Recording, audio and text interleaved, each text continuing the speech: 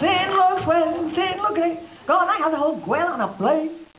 And that's how she That's was Googie. born. You know, I, I hiccuped and out she came.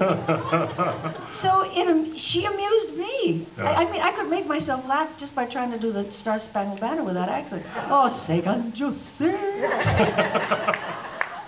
By the long Sally line. So I, uh, from then on, I would do Googie just for. She didn't have a name though.